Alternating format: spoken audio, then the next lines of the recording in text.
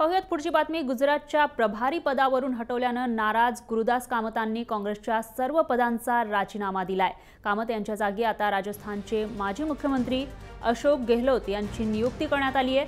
तर येत्या डिसेंबरमध्ये गुजरातमध्ये विधानसभा निवडणुका होणार आहेत. पंतप्रधान नरेंद्र मोदी यांचा गड असलेल्या गुजरातमधील निवडणुका काँग्रेसच्या राजकीय वाटचालीच्या दृष्टीने अत्यंत महत्त्वाच्या आहेत आणि त्या पार्श्वभूमीवर काँग्रेसनं संघटनात्मक बांधणी सुरू केली आहे. त्याचाच भाग म्हणून कामत यांच्याकडून ही जबाबदारी काढून घेण्यात आली. त्यांच्याऐवजी ज्येष्ठ नेते गेहलोत यांच्यावर ही जबाबदारी देण्यात आली आहे.